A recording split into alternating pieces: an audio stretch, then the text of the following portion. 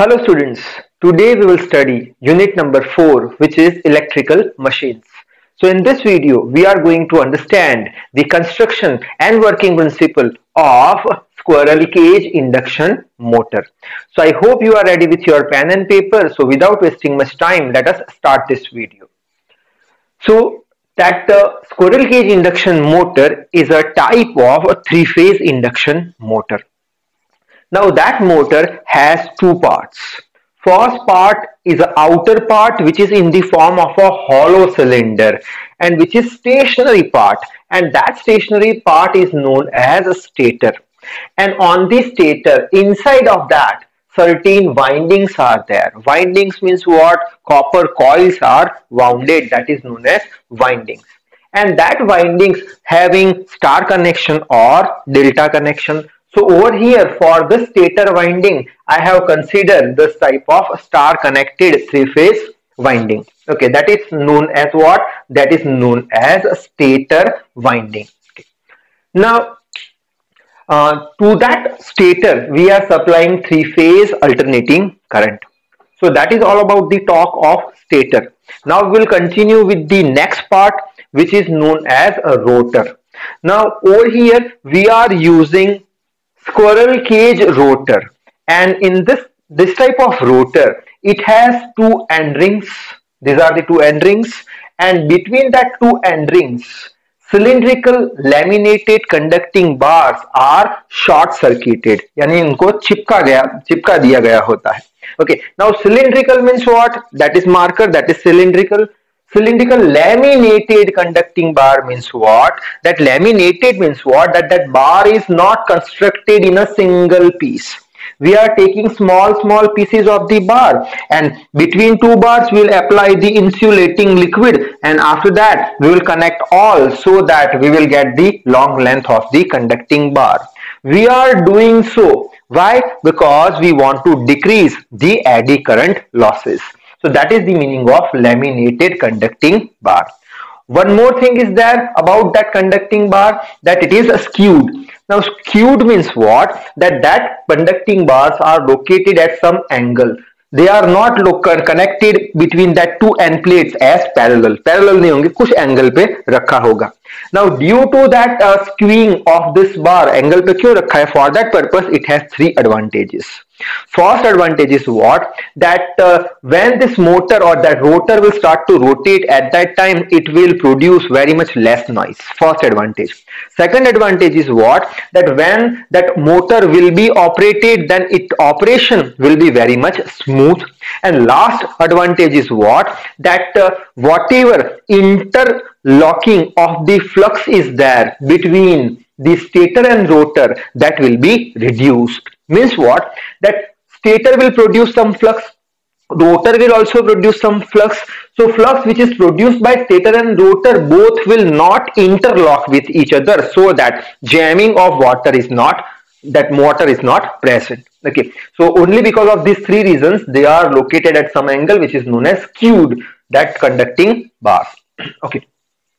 Now that bar has one shaft that rotor has one shaft also so that is all about the talk of that uh, rotor now that rotor we are inserting inside of the stator so when you will insert the rotor inside of the stator and from the front if you will see so from the front, this type of figure you can draw. From the front, this type of uh, cylindrical shape, that means circle you can see. And on that uh, stator, that this type of windings are there. So these are the windings, say R, R dash, Y, Y dash, B, B dash.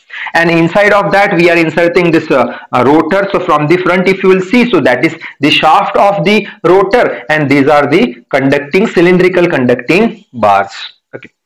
Now, that is all about the construction now we'll move on with the working principle that how it works okay so first is what that first of all as i told you that three phase ac is given to stator that means we will supply three phase alternating current to that stator so what's happened that uh, due to that in all windings of the stator these are the windings of the stator all windings of the stator alternating current will start to flow now, according to the Faraday's principle, what we are saying that if you have a conducting wire and from that if you will pass the current, so what's happened? Around the wire, magnetic field will be produced.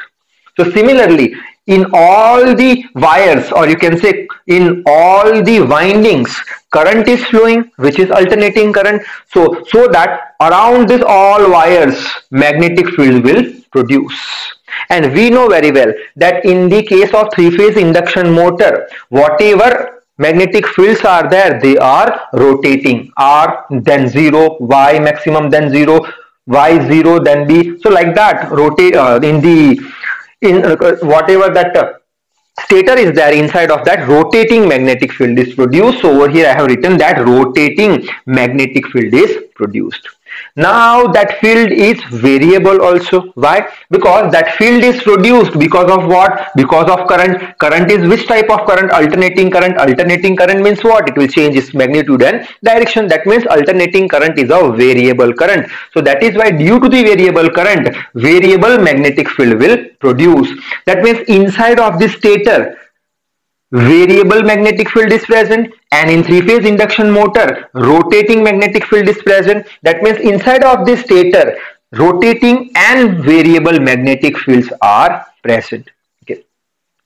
Now we know one principle which is known as electromagnetic induction which has been given by Faraday so electromagnetic induction says what? That whenever a conductor or conducting wire is subjected to a variable magnetic field at that time inside of the conductor current is induced. Similarly over here that rotor is present or that rotor is subjected to what? It is subjected to a variable magnetic field. And if rotor is subjected to a variable magnetic field that means inside of the rotor uh, current is induced. Which type of current is induced? Variable current is induced. Why? Because these are the variable magnetic field so variable magnetic field will induce variable current and due to that variable current now rotor will induce variable magnetic field that means rotor has which type of field? Rotor has variable magnetic field. Stator has which type of field? Stator has rotating variable magnetic field. Okay. Now, that means inside of the stator, uh, that the stator will produce rotating field. Rotor will produce variable field. Now, stator is fixed. It is stationary and rotor is free to rotate. That means inside of the stator, two magnetic fields will interact with each other or two magnetic fields will apply the magnetic force on each other. That is stator, stator will apply rotating magnetic field to the rotor. Rotor will apply the variable magnetic field to the rotating magnetic field. But over here stator is fixed. That's why all the effective magnetic which is rotating magnetic field will be given to the rotor. So rotor will start to rotate. So in this way rotor will rotate. Okay over here i have explained same thing symbolically. Over here that is star connection. Star connection for what? For this winding that is stator winding. That is coupled with what? That is coupled with stator. So uh, that uh, in the stator winding what's happened? Rotating field will be created. In the rotor winding variable field will be created. Now rotor is free to rotate. So all the rotating magnetic field will be imparted on the rotor so that rotor will start to rotate which has no winding. So that is all about the construction and working principle of this motor. Now we'll understand the advantage and disadvantages advantage is what its construction is uh, simple. Weight is less cost is less maintenance is less efficiency is high heating effect is less. Why heating effect is less? Because in the rotor we are not using any copper wire. Now next is disadvantage that starting torque is less. That means starting torque is less means what? That if you want to start this motor at that time you have to supply more current. Then only it will start to rotate. Next is consumes more current during starting. Why it will take more current during starting? Because its starting torque is less. And last is what? Speed control is not possible. Why? Because over here we are not using starting variable resistances that we are we were we will use in the case of slip ring motor. So in this video only that much thing. In the next video we'll discuss about uh, slip ring induction motor. So now I would like to end this video. So till then read hard, work hard. Thank you very much.